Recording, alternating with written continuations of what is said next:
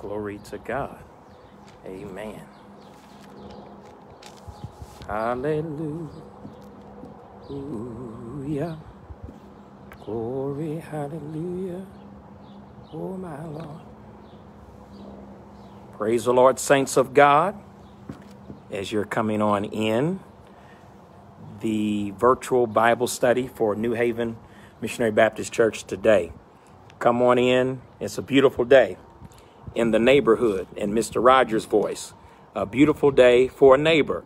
God bless you, Missionary Owens. Thank God for all of you. Hello, Frederica. It's good to see you. Amen. All of the saints of God. Sister Breed Love, we love you. Amen. I'm going to let you guys come on in. You're coming in pretty quick today. Grace and peace, Leslie. Amen. So grateful for all of you. I'm doing this in a different way today. I am outside. I see you, Mommy. God bless you. Um, and to all of you, my father's children. Good evening, Sister Jackie. Praying for you and your family. I want you to know that. Love you, Mother Talbert. I love you so much. I'm outside today. All by myself. Ain't nobody here but me. God bless you, Sister Means. Birds chirping, wind blowing. That's right, Kanani. Everything. I am out here experiencing the goodness of God and the beauty of his of his righteousness in the earth and the firmament echoes its power and we're so grateful for that uh, grace and peace be unto each of you from God our Father and our Lord Jesus Christ. Hey, my sis Yvonne, love you, sis. Amen. Grace and peace to all of you, and I see you all gracing and peacing. Amen. So put that, hey, Roundy, good to see you. Put that grace and peace in here. It's our way. Amen. It's the pilgrim way.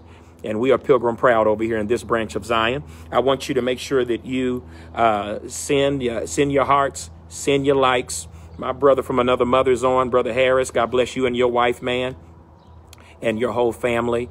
I want to, uh, again, greet you uh, to our virtual, or, or uh, welcome you rather, to our virtual Bible study today. I am blessed to be talking to you today from outside in a, in a lovely uh, park area. I thought it'd be neat to switch it up a little bit, not to be at home, not to be at the church, but to be out in the elements. It is a beautiful day out here today, not too hot, uh, not too muggy, uh, very clear day. The sun is out. I don't know if you've been out to exercise or not yet, but I want to encourage you to, again, maintain your physical health, maintain your mental health. I love you too, Vonnie. Maintain um, all that is it, it, that pertains to you in this season, naturally, spiritually, mentally, physically, always possible. You want to take care of yourself in this season. It has never been more important than right now to take care of yourself, especially with all this time that we have one with the other. I just want to uh, give a few updates before I go into uh, the few little uh, encouraging words that I want to render to the church today. Uh, love you too, Marion. Uh, one thing, and I'm going to move away from the comments, so I won't be able to see you guys now because uh, I get distracted and I start responding. Um, a few updates. First of all, I want to thank each of you, and I'm getting ready to switch angles here because I don't really like that angle.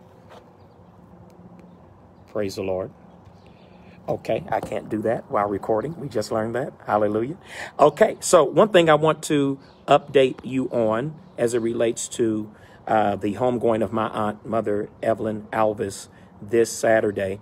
Um, New Haven, I want to thank you for all of your calls and prayers and your support to not only me, but to my family and all of those that are part of New Haven, that are part of my immediate family and the transition of my aunt, that is my grandmother's baby sister, that was, um, uh, you know him as Uncle Herbert, his sister, and the grandparents of Keita, Stansberry, and Chunk. So, as you know, our family, on that part of our family, they have literally uh, to death lost a mother and a grandmother, um, or a sister and a mother in less than a few months apart.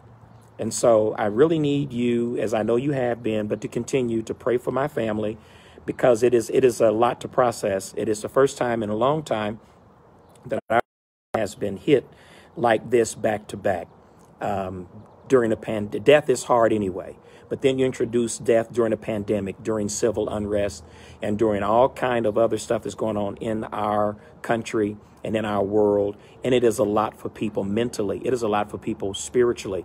That is the reason why I am really, really uh, wanting to emphasize in ways in which I probably never have in these 12 years of leading you and serving you as an imperfect man, but yet alone your bishop and your servant to make sure that you are absolutely on top of your mental well being, strengthening yourself spiritually. And I'm trying to make sure that I find the words to say, whether it be through Bible study, through uh, just offering encouragement when I do get on the prayer line, or even during uh, the sermon that we render on Sunday morning in our virtual church, just to encourage the people. This is this is not a time and we thank God for depth in the spirit. We thank God for revelation. We praise God for studying the word of God that we might rightly divide this word of truth, um, that a workman needeth not be ashamed. And we love that. But people don't need deep, spooky, eerie people right now. What we need is a word from God. What we need is encouragement. What we need uh, is just to know and to be able to look up and know that our Redeemer liveth. Job said it. Our Redeemer lives. Um, Bishop uh, Roy Ronald E. Brown picked it up. He's gone to heaven now, down in the Carolinas, and he struck up an old holiness song that said, "God is still on the throne. Within your bosom, you have a phone. Whenever you walk, you're not walking alone. God is still on the throne. Listen, the geese know it. This crow, if this crow fly over here, I'm going to run away from this live, hooping and hollering. Y'all can judge me if you want. But that crow, I, I don't like these big birds and these arrogant geese. But if they come over here and I should go to running and this live end abruptly, you know that I needed to get away from these ducks and these geese and I didn't have my gun. Come on and say amen. Praise the Lord. I am a firm believer in the in the amendment right to bear arms. Praise the Lord. Amen. And so uh, as we move on, I just want to make sure that you are um, just very, very cognizant uh, as to where you are and what we're dealing with right now. There, you can't you can't deny it. You can't ignore it. You've got to be honest about what this is doing to us as believers and as people, and we want to be very, very cognizant of that in a very, very special way. And so, again, as it relates to the homegoing of my aunt, services will be this Saturday, uh, the twentieth, at the Nazarene Missionary Baptist Church. Uh, the viewing is from 10 to 12. That's open to the members and to our friends and to our covenant brothers and sisters, supporters, those that just want to love on us. And the funeral services, the homegoing, starts at 12. Now, the homegoing is only for family. First time we've ever done that. But in lieu of COVID 19 and the restrictions that the CDC has recommended, that's the way our family has decided to do it. I champion and support those efforts, and I will be in accordance with my mask and if you coming to the wake although uh, and whatnot, have your mask. To my family members, have your mask. And for those that have opted and, and have volunteered themselves to serve our family, thank you, nurses, ushers, adjutants, those that are going to come to be a support. I want to thank you from the bottom of my heart for being so thoughtful of my family during a time when everything is so questionable. So that's what that's going to be this Saturday. If you haven't already saw it on social media, you've already received the text. If you have not, you will. So that's going to be this Saturday. Uh, as I talk about updating and where we are, as I continue to look at how the country is reopening and the state of Indiana is continuing to reopen and are in the last a few final stages of a full reopening, I want to let New Haven know. I know you've asked the question once again when will Bishop reopen? When will Bishop? You got to watch your back because the devil is, is sneaky, but we got him. Amen. You're in a safe place, but you got to know. Watch and pray. Glory to God. Uh, and so you might be asking, well, when is New Haven going to run? When is Bishop going to reopen the church? I will have you know that I remain steadfast in not being in a hurry to reopen the church until it is absolutely essential and necessary and safe. Now, the, the church never closed. New Haven has been open for 60 plus years, and we will remain. But the building has been closed. The tabernacle, the cathedral has been closed. And we've been meeting in virtual means, whether that be for meetings, whether it be for worship, for Bible study. I want our youth to know there's something coming for you uh, that uh, our youth minister is working up right now on Zoom. So be looking for that. Parents, get your youth ready. We want to connect with the youth to make sure that we maintain their steadfastness in Christ during a time that they've never seen before and being out of church over three months. And it looks like we've got a little more to go. So again, New Haven, we are not reopening. I am not in a hurry to reopen until it is safe for you and for me to do so, for you and I to safely come back together. But you do know next month we're planning an outdoor parking lot service. I won't get into that right now. I'll get into the details later. But no, in July and August, I, I need to see you. I need to be able to look on you outside of looking at your names on Facebook Live. I need to see you in the flesh. And I know you need to see your pastor in the flesh. And that we are working on doing, and I'm excited. I want you to get excited. Get your lawn chairs ready. Get your mask ready. We're coming to have knockout, stomp down, drag out, Holy Ghost tongue talking church on the parking lot of the New Haven Baptist Church. And we're going to do that in the month coming. So look out for that flyer. Look out for that promo. It'll be on the way. Again, not in a hurry. I, I, we have a lot of people that are risk and risk risk factors, of which I am in a risk factor myself. And so I'm not going to put anybody in danger. I don't want to put myself in danger. Um, and I want to be mindful of that uh, when we're reopening. So stay steadfast and unmovable, stay committed, stay faithful, stay in tune, continue to jump on these lives when we do it, continue to worship God in your giving, and continue to do the wonderful job that you all have been doing for the past three months and counting. So I just so those two things I wanted to allude to uh, amidst everything else that is going on. Stay prayerful, keep on praying, and we'll make it together. Uh, the church is, I still believe what Jesus told Peter. I'm not changing on this. In the book of Acts, after Pentecost, he said, Thou art Peter, Petros, small pebble, little rock, and upon you I will build my church, and the church will be built upon you, and the gates of hell shall not prevail. They will try, they will attempt, but it won't prevail against you. Peter, as he was the first bishop to establish the church there in Rome, we thank God for that prophetic word spoken by our master. And it remains true through COVID, through civil unrest, through police brutality, through excessive force and through other wiles of the wicked and the devil that seek to uh, to attack us and undermine us and defame us. God has given us the victory, and I want you to know that today. All of you to know that we have nothing more than victory, even when victory does not seem to be afoot. And I know you're tired of hearing me say it, but I'm not tired of saying it, and I will continue to say it until we all understand it and come into the unity of the faith. And so, uh, amidst all of that, as we continue to watch the TV and see different uh, things that would befall our eyes in different settings and different places of media, I know it's hard to believe some of the stuff that we're seeing, some of the stuff that we're experiencing, some of the things that we as faith leaders and, and people of color uh, and just human beings, period, have to address. But but it is a reality that that in the midst of this this environment, in the midst of this culture, in the midst of this season, that it is unfathomable, but it is a moment where we must capitalize and where we must seek for change, seek for strength. We're not just going to pray and speak in tongues and believe God. We're, we're full of action. We're full of intuitiveness and creativity to make sure that we do what God is calling us to do in this season. And I, I'm really burdened, and I'm sure all pastors that have an ear to the mouth of God, whose hand is on the pulse of God and what he is saying to the church, I'm sure all of us are just scratching our heads and wondering, Lord, how long and what next? Glory to God. And how can we endure this like a good soldier? He told us in the word to endure hardness like a good soldier. What can we do?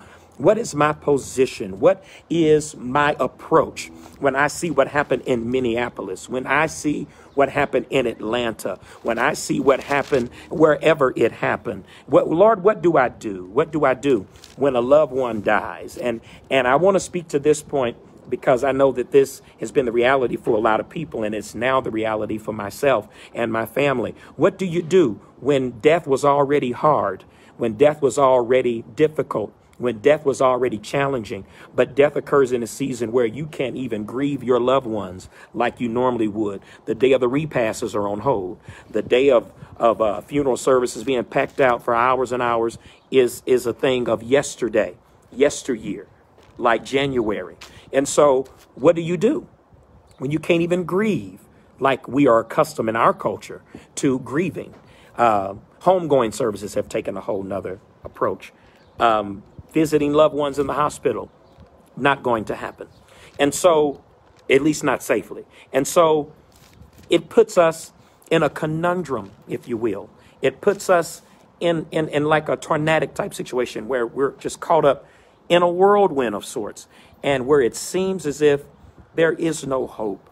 It seems as if there is no support. There is no furtherance.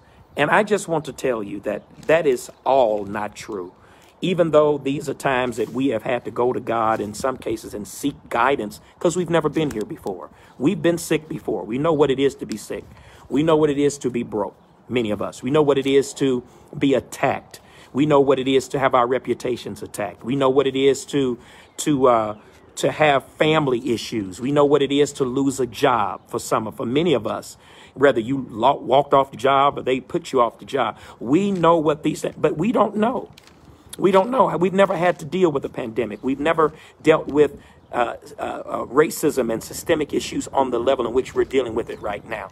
And so it puts us in a place of fear. And I discern it in the Holy Ghost. The devil is operating Thank you, Lord. And I don't want to get too loud out here and scare these neighbors, but if they hear, if these folks hear me speaking in tongue, then they know it's God. Amen. But the devil uses fear, fear mongering, fear tactics to paralyze the people, having us to be fearful. I don't care what it's fearful of fearful of death, fearful of the police, fearful of sickness and catching COVID. I don't care what it is. Fear comes in so many different ways, so many different angles, and at so many different times, and, and is applied to so many different places in our lives. Whether it be fear of the, uh, like as a child, I had a fear almost of clowns. I still, I don't like clowns now, figuratively and and appropriately and naturally. Uh, i don't like them. I don't like clowns. I don't i don't like them i just don't. I've never been a fan of clowns. And when the movie it came out that didn't help me none. Brother pennywise made it worse for me. Now i watched it because i am a scary movie guru. But clowns i am not a fan. Whether you are a natural clown or supposed to be one, I'm not a fan. Glory to God. Y'all pray for me as the Lord delivers me wholly. But but I've had a fear of that all of them have a fear of spiders. And so when you see these things, it causes you to kind of re- restrain yourself, causes you to kind of second guess.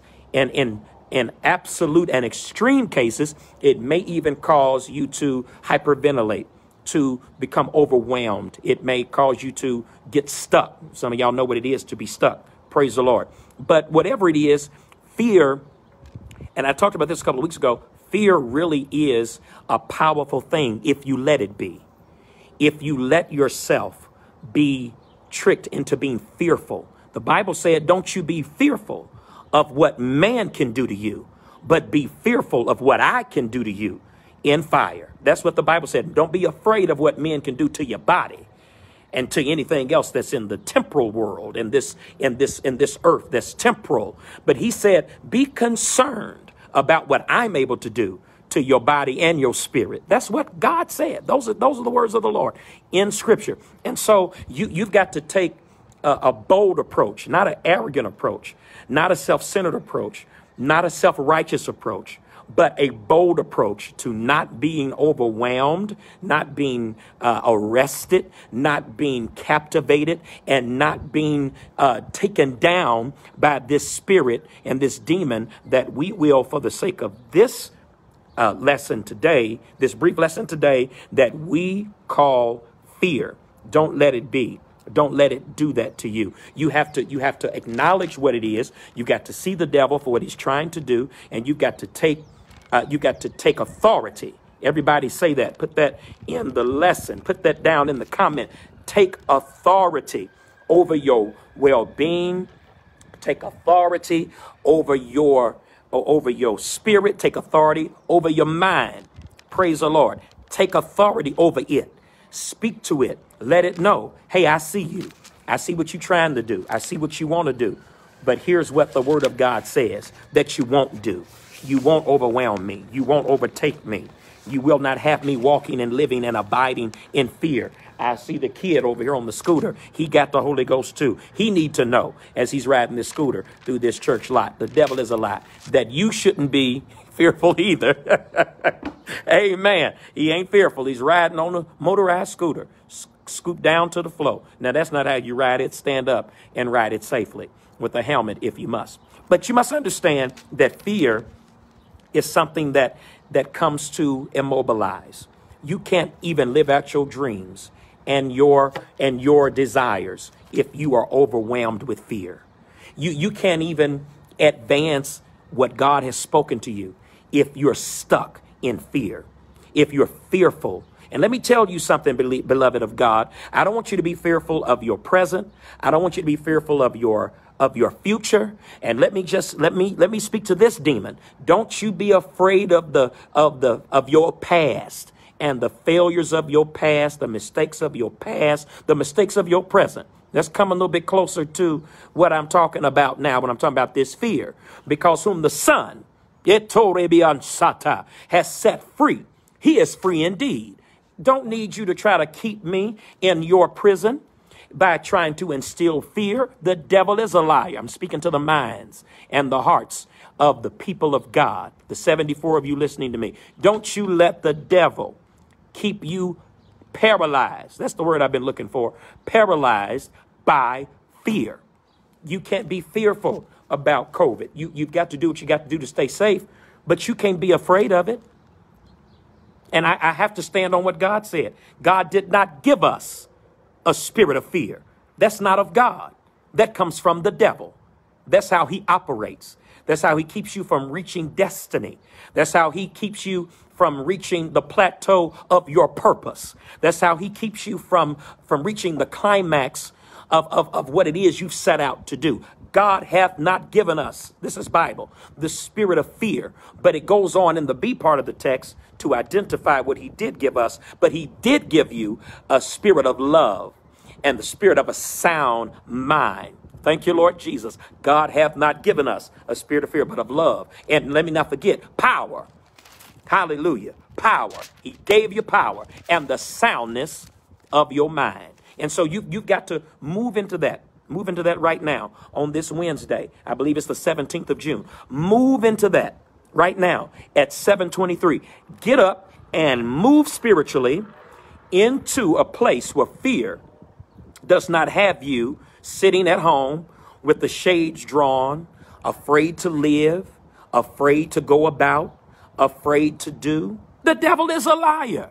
And I want him to know he's a liar. He's the father of them. Glory to God. You have the ability and the power to live, not just exist, but even during these unprecedented and unsure times, God is calling you.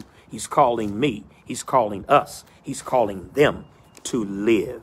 Everybody put that down in the comments. I'm going to live without fear. Write that in the comments. I'm living without fear. I don't know who I'm talking to, but I feel this thing so heavy on me in the spirit that I don't know what to do. I'm going to live without fear. Isaiah chapter 41 verse 10 says, fear thou not. This is Isaiah 41 and 10. Fear thou not, for I am. I'm reading it like it's written. For I am thy God. I will strengthen thee. Yea, I will help thee. Yea, I will uphold thee with the right hand of my righteousness. Let me read it to you in the New Living, Isaiah 41 and 10. And here's what it says in the New Living Translation Don't be afraid. Now, that could preach by itself, and I could take three points and close with don't be afraid. That, that's good preaching material. But let me read on. For I am with you. Let me break this down exegetically. Do not be dismayed, for I am your God. I will strengthen you. I will help you. Hallelujah. I will uphold you with my victorious right hand. For we know his hand have already gotten the victory. Thank you, Jesus. Let me try not to get too excited because I like how this is written. Let me break it down, and I'm going to break it down from the New Living standpoint rather than the King James translation. So if I go back to the New Living translation in Isaiah chapter 41, verse 2, it starts out by giving a clear and simple path to this to this message to you today simply by telling you stop being afraid stop it just stop come to a complete stop not a rolling stop, not a half stop, a full stop. That means you are still. You are standing still. You're not moving. There's no mobility. Stop and declare that I will not be afraid. This is the reason why I'm not going to be afraid. And, and this is for those that would say that you're arrogant for taking that position, or you're self righteous, or you're self centered, or you think you are the stuff or you think you're all that and a bag of chips, or or you you you think you above and not beneath, and I know you, and I know this, and I know that, or I subject, I, I suppose this, I suppose that, I heard this, I heard that. Get out of here, you foot, ragged mouth devil. Don't nobody want to hear that because the Bible told me not to be afraid, not because of me. Woo! Thank you, G. I'm trying not to get excited because I don't want I don't want the police to pull up on me. I don't. But I, am trying to hold my peace. But I'm trying to get this across to you. Why am I not supposed to be afraid, Bishop McLean? It, what, what will people say? What will people think? Who cares? Glory to God. I want you to not be afraid. Here's why. Because the Bible says, because God is with you. I am right here in the text. Don't be afraid, for I. I'm talking about the God of Abraham, Isaac, and Jacob. I'm not talking about a statue. I'm not talking about a figurine on an altar. I'm not talking about a picture on a wall. I'm not talking about uh, a relic.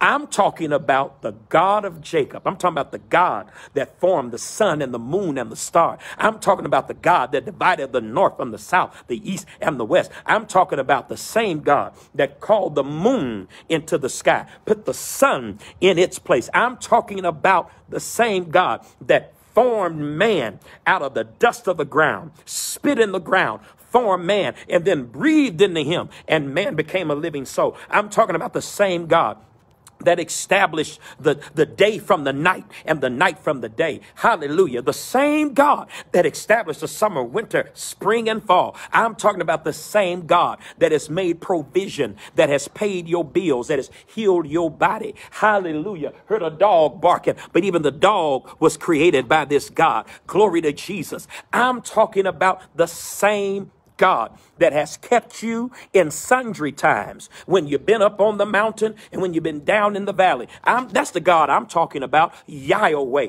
Je- Yahweh, Jehovah Shammah, Jehovah Tsidkenu, Jehovah Rapha. Y'all know who I'm talking. About. I'm talking about Mary's baby, the meek and humble lamb, the stone hewed out of the mountain, the, the, the cornerstone, the bishop of our souls, the stone that the builders rejected. I'm talking about the same man that was afflicted, was acquainted with sorrow, that was afflicted, despised, and rejected. He was afflicted. He was, he was despised, a man of sorrow, acquainted with grief. I'm talking about the same God that went to a hill called Calvary one day. I'm going to get in trouble out here. And, and took upon himself uh, the mantle of sin. I'm talking, that's what I'm talking about. I'm talking about the same God that took Calvary and became man's sacrifice that hung, bled, and died from the sixth to the ninth hour. I'm talking about the same God that they put in Joseph's new tomb. I'm talking about the same God that did a revival in hell for three days. But after three days, he got up from the grave declaring, I've got the keys.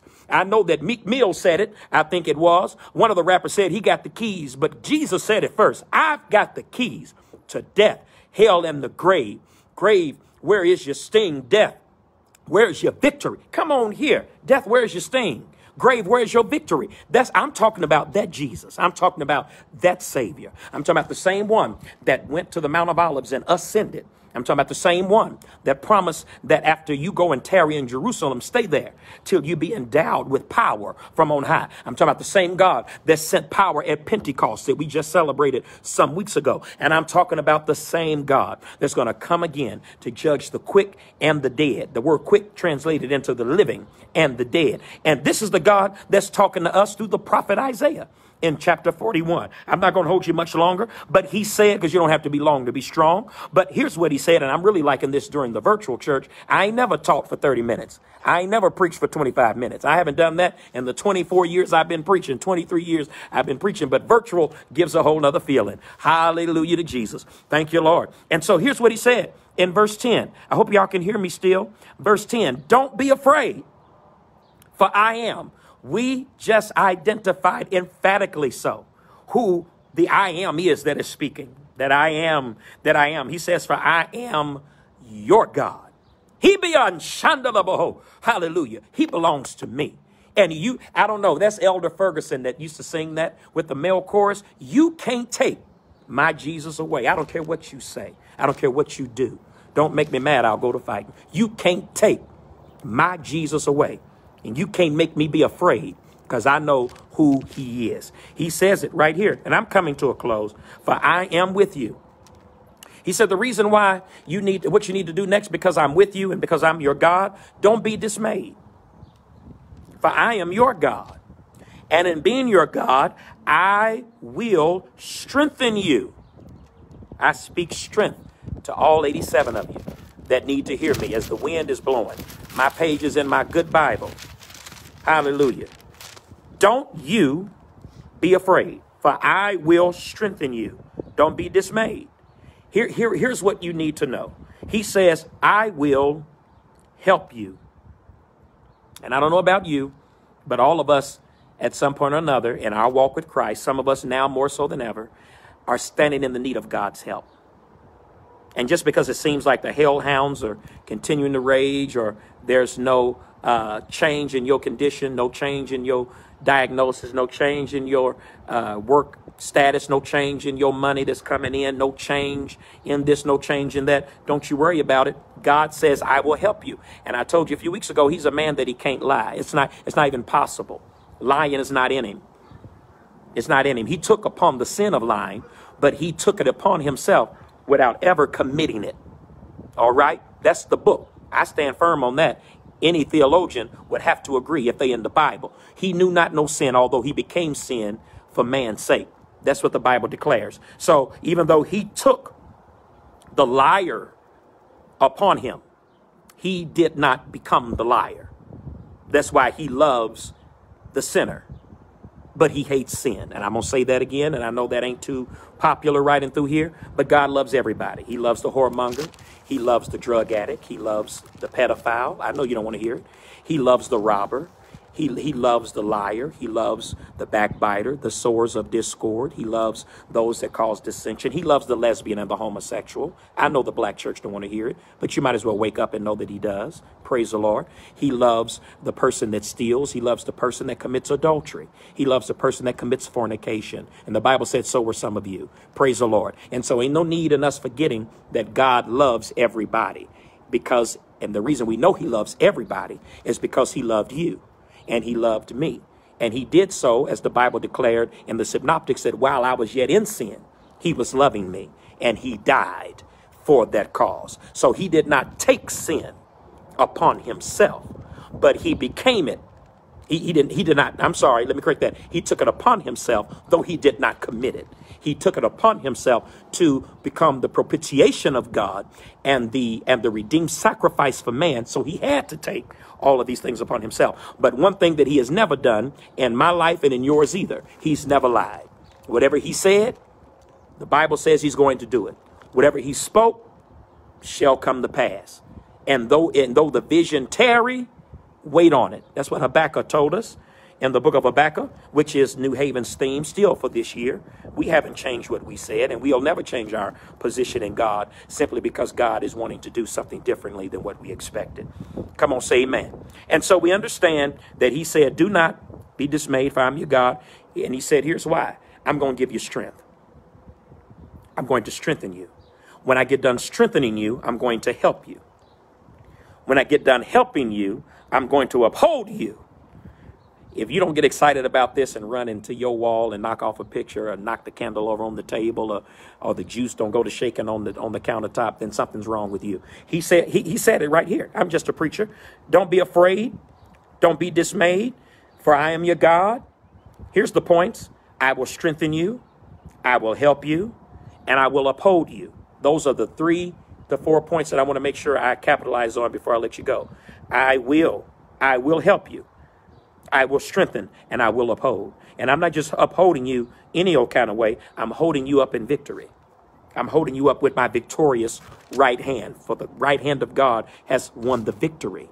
Amen. The hand of God. That's why we announce, pronounce blessings and consecrations with the right hand. Authority, according to Scripture, is given by the right hand. When we ordain elders, when we consecrate bishops and elevate vicars and overseers, or whatever we call them in your respective organizations and churches and denominations and affiliations, etc. It's done, should be done with the right hand, especially as it pertains to the bishops in the Lord's church. The, hand, the right hand of the bishop is his hand of authority. He blesses people with his right hand. That's the reason why we, when you see us carrying the crozier, it's carried in the left hand so that the right hand might be free for blessings. In some other countries, it's left free to venerate or to show respect by kissing that bishop's ring. We don't practice that so much here in the States, but across the waters, that is a very big thing to symbolize the respect of that priest, that bishop, that clergy member, their right hand. God says, I'm upholding you with this right hand. It is a hand of victory. And so when you can, when you cumulate this text and you make it to the end thereof, and I'm wrapping up, we understand that whatever happens, I don't need to be afraid because God is with me and he's my God. And while he's with me, he's strengthening me. I speak strength into the lives of all 85 of you watching. When he gets done strengthening, he's going to help. I speak help. I, I hear one of the old mothers in Zion, quick help, not just menial help, but quick help. I prophesied into the lives of every person watching in Jesus' name. And I declare, decree, and I prophesy that God is going to uphold. He's going to uphold you. And I declare that you will be upheld in victory. Those are the words I want to leave with you. And you shout about this until you get tired. And then when you get tired, pick it up again. Shout about it some more. He's going to help us. And he doesn't want you to be dismayed. And I'm coming to you with that word, that word of power, I'm getting ready to leave you in a minute, but that word of power, that word of encouragement, that word of strength. And I feel this so deeply in my soul, in the city of my soul, turning over in my belly. I want you to know that you can't be afraid. You cannot be dismayed. We sing a song say, Be not dismayed, whatever betide you. God will take care of you. Beneath his wings of love abide. God will take good care of you. And you need to know that. He says, and don't be afraid, and I'm, I'm, I'm closing because I'm with you. And I want every person on here to get the strength of God in your life right now. The strength of God. Understand that God is going to help us. He's going to help you. He's going to help me. He's going to help all of us that believe in his name, that believe in his power, that trust in his might. The help of God is for you. Praise the Lord. And he says, I'm going to uphold you. Can't nobody and can't nothing, nothing you say, nothing you do yourself can cause you to be plucked out of the hand of God. I just want you to know that. We have his protection. We have his protection. We have his strength. We have his might. We have his reassurance. And right here in this Bible today, it's beat up because I use it more so now than ever. Right here in the Word of God, we have a promise. We have blessed assurance that we should not. This is as God is speaking to the children of Israel. God's help for Israel is what he's saying here in the whole 41st chapter of Isaiah. I encourage you to read all of Isaiah 41. It's Isaiah 41, uh, 1 through 29. It's only 29 verses. Read it. Read it. It talks strongly about how God's going to be helped and how he's going to contend with them that contend with you. Hallelujah. Thank you, Jesus. And so as I get ready to leave you now um, in, in this natural setting out here underneath God's blue sky and his sun beating upon my brow, I simply wanted to encourage somebody somewhere to be encouraged. Um, don't come to you today with a bunch of fancy words and a bunch of Latin and Greek and and a whole bunch of deep and and spooky revelation, I come to simply tell you God is going to take care of you. Get rid of this fear. I discerned it when I came on. That's the reason I'm talking about it because I picked it up in the Holy Ghost. Get rid of the fear. I'm talking to me. I'm not just talking to you. When I preach, I'm preaching to me first, and then I'm giving it to you the same way I felt it. That's the reason I give it with such with such power because I feel it in power. Amen. I don't feel this in no fairy tale bedtime story. I feel it in power. And just as much as I'm encouraging myself as David had to do, I'm encouraging you through bearing a loved one and whatever else that, that I have to deal with and contend with in this season. I won't be fearful. I cannot be. You cannot live. You cannot live. You will only exist if you walk around immobilized, arrested, detained in fear. Be loosed from fear. And I know that's easier said than done. I know somebody, I hear you in the Holy Ghost, even through Facebook with Bishop, you don't understand. Yes, I do. I do understand. You don't know. I haven't worked since March. I haven't worked since since all this stuff started. And and and I'm I'm not working fully like I should be or like I was and I've lost this loved one and this loved one is gone and I haven't been able to see this loved one and and I haven't been able to come to worship and I'm I'm struggling in my faith. I'm struggling in my commitment with God because now you have to do it almost uh, it's a more independent way. You don't have a weekly tutorial in church service on Sunday morning from 11 o'clock to whenever to tell you what to do, how to do. But you do have these avenues in which to encourage you, in which to draw you in. But but it's different when you don't have somebody standing over you telling you, hey, the wages of sin is death. God going to encourage you. God going to heal you when you don't have me, us there, your leaders, your pastors, your servants to lay hands on you and do all of this stuff that we've been trying to encourage us to do since 1992 for ourselves. You've got, it, we, we're not on our own but in a way, there's a strong independence that's needed amongst the saints. You got to operate in that power. You've got to operate in that independence. You've got to operate in that conviction.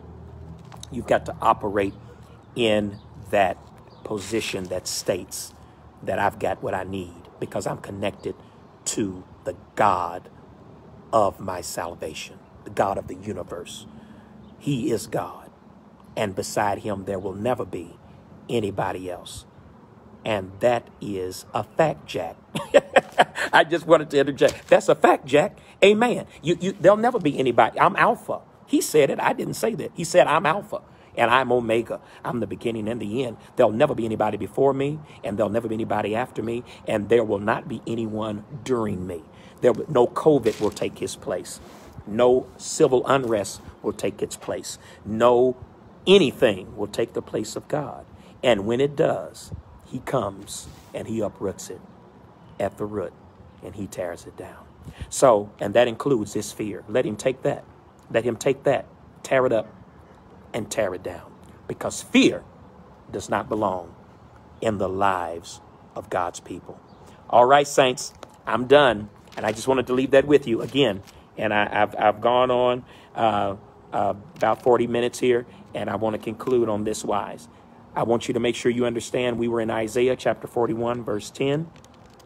But I personally would like to encourage you in your devotional time, of which I'm praying that you are doing. If you haven't been doing it, there's no excuse now except laziness and slothfulness and complacency. I encourage you to read Saints of God. And I'm about to hurry up because I see a blackjack as big as a Cadillac, and I'm about to get up out of here. Praise the name of God. Amen. But read the whole chapter of chapter 41. Read Isaiah 41 in its entirety. It's only 29 verses. And then you get into chapter 42 and God is dealing with his chosen servants. But I want you to read how God helped Israel and how he dealt with the enemy. Thank you, Jesus. And I don't know what your enemy is, and I don't know who your enemy is, but we all have them. We all have them. And some of them we might have rightfully made enemies, and some of them we may not have. There's nothing you can do about that. But you've got to let God do the fixing. You've got to let God do the fixing. And I, I am in a place right now where I have to be so cognizant of me, so cognizant of me, that I do what makes for pushing forward in the help and in the peace of God. I love everybody and I try to love everybody. And uh, I understand that sometimes relationships and friendships and kinships go astray and things don't go the way you want it to, and people leave with hurt feelings and they leave feeling away. And I've never been a person that wanted to hurt anybody's feelings because I've had mine hurt too many times. Um, and I've, I've, never want to be a, a uh, catalyst or a person that brings that. And if I have, I, I repent of that because it's nothing that I've ever wanted to do or, or do on purpose. Um, and I, am you, this, this season has taught us to be in tune with our humanity to be in tune with our connections uh, and to be in tune with our relationships, to be in tune with us. With us. That's right, Tasha. I hear you. Sometimes I'm my own worst enemy, and sometimes it's the internal fight. I think I, I preached that a couple years ago when the enemy is me. Y'all remember when I preached that? Or the enemy inside? It was something like that. But it was talking about how the enemy is not my neighbor. It's not the person that's spewing hatred or discord or trying to tear me down. It is sometimes me. That's the bishop talking. Sometimes it's me. And sometimes I have to go, oftentimes more than not, back to where I first believed and make sure that my little raggedy self is together. Praise God. I ain't going to call y'all raggedy, but I'm going to call me raggedy. Amen. And if you tell the truth, you say, Bishop, you ain't by yourself. I'm raggedy too, sometime. Come on, say amen to me. Amen. So I see my mommy's on here. I see your hearts, mommy. And so in the midst of that, in the midst of that, don't be fearful. Don't let fear captivate you. Don't let your mistakes arrest you. Don't let what you've lost or what you gained be a thing that keeps you in a place that God told you it's time to move forward through. All right? Onward and upward. The sky is the limit to what I can have. I expect a miracle. God will perform it today. Amen. I'm looking for a miracle. All right, I'm not going to sing it. Amen. I love each one of you. Thank you all for joining me today. Sister Harding, I love you. Sister Lisa, let's pray for Sister Lisa, who has a major surgery coming up. Sister Lisa is um, a, a helpful and awesome person. She takes care of our church uh, and keeping it clean and, and looking beautiful for a lot of us. She even takes care of our homes. I am one of her clients. Amen. And I know she has a major surgery coming up. Let's pray for her in a special way. Let's pray for all of the people of God that are sick and afflicted and uh, are standing in need of God's help. Let's pray for every. If that's right, Tasha. I like that that, I, that now you didn't you didn't get me excited. That's why I don't read these comments. I have to say, piggyback off of what Sister Tasha just said. Those are the words of my father in the ministry, the late Reverend Roosevelt Sanders. He says, "I'm fickle, finite, and full of failure," and that's the truth. And for the past twelve years, I've let New Haven know that Bishop McLean wasn't perfect, but one thing you can't take away from me, and that's that I am anointed. I'm anointed. I've got 24 years of an anointed record and another 12 years of anointed leadership at the New Haven Missionary Baptist Church. Not a perfect man by far, never stood in any pulpit and proclaimed that I was. But you can't take away my anointing. You want to know why you can't take it? Kandalaboshaya, because you didn't give it.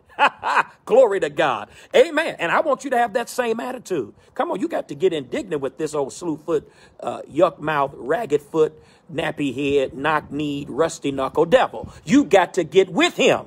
Come on here. Ain't scared of no devil. You loose here. I've got the Holy Ghost. Yes, I do. And I've got it like the Bible said. Not this macaroni, instant noodle, ramen noodle Holy Ghost. I worked for this. I cried for this, and I'm fighting like hell to maintain it. Praise God. And I'm going to leave that alone because I feel something rising up in me.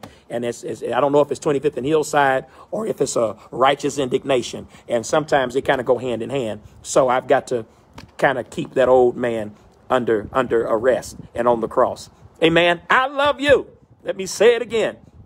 I love you. I love you. I do. I love you truly, truly, truly, truly. To each one of my members, our friends, and and those of our supporters, and and and those that might just be on today to see what we're doing, because we know there's a lot of lurkers in the in the body of Christ. However, you made your way to this page today, you're welcome. New Haven is always welcome to everybody, and we won't stop. Amen. All right, saints of God, I love you. You'll hear and see me again on Sunday. Tune in to our virtual uh, worship service on Sunday. If you have not rendered your tithe and offering from Sunday, when you get off of this Facebook, you go to Givelify, you go to Text to Give, you go to uh, all the ways we've got to give. Put it in the mailbox, whatever you need to do, but make sure that you are making uh, God your um, your portion as it relates to giving. If you have any pastoral care needs, you see that's just been pinned in the comments, please let us know so that we can do all we can. I love you too, Karen Carter, that we can do all we can. Love you, Saeed, um, to um, help you out in this season. I love you, Maxwell, my little buddy. Love you, man. I got some plans for you in ministry when we come back. I know your mommy's probably already told you. Um, and to all of you, cuz, I love you too. Cousin Renee, I love you. I love you, Missionary Bradley. Love you, Kim. Amen. Let me see these hearts. Love you, Mother, Mother Gloria. Come on, let me see these hearts. God bless. Amen. Love you, breed love. And to all of you that I know have been dealing with certain things. Some of you have called me. Some of you I haven't been able to talk to, but I picked you up. I love you, Sheila. Oh, that's Sister Sheila. I haven't seen you in so long. Amen. Lives there with my grandmother in the same building, Sister Sheila Wilkes. Amen. We love you, and I and I, I love you, and I almost hate to leave you because I miss you all so much. But we can't stay on Facebook Live. Tenon, I love you. I need to hear you do one of your woo. It's been so long. I need to hear it. Amen. Sister Drew, I love you. Sharon, I love your stories when I first get to church. I, you normally stop me and hold me up from getting in office, and I used to used to didn't like it, but I miss it. Sharon, I love you. Sister Levi, y'all know I, I got to cut up. Uh, Jayana, I love you. Marion, Mother Garner, Missionary Garner, Sister Means, Sister Williams. Thank you guys. I feel the love all the way across the virtual airways and in this in this little park I'm sitting in. All right, I've got to go. I think an ant just tried to bite me, and I've got to get out of here. I love you guys. Be strong, be safe, be encouraged, and know that fear, I love you too, mommy. Know that fear absolutely has no place. Love you all. Thank you for those of you. Uh, I carry my father's spirit, Tracy. Amen. Uh, I want you to um, make sure. What was I to say? Make sure that you um, continue. I love you too, TT. Make sure that you continue to connect with us via the uh, the prayer line that is on Sunday mornings and Wednesday. We had it today. Let let us uh, make sure that we are supporting the ministers and the missionaries that are pouring out for us on these calls. I'm not always on the call. I've raised these people to function without me, and that's good leadership. And sometimes I just slide on just to see what's going on. But I know that the people that I've charged to take the reins and to help me continue to lead New Haven in a virtual way is doing a phenomenal job as we pray for you each Sunday morning at a designated time and each Wednesday uh, in the afternoon, early afternoon or morning um, before we get to our power um, to give you a word of encouragement and prayer. That's what we have to do. We've got to always pray and never faint. All right, I'm signing off. God bless you. God keep you. Remember, we have the victory. Peace.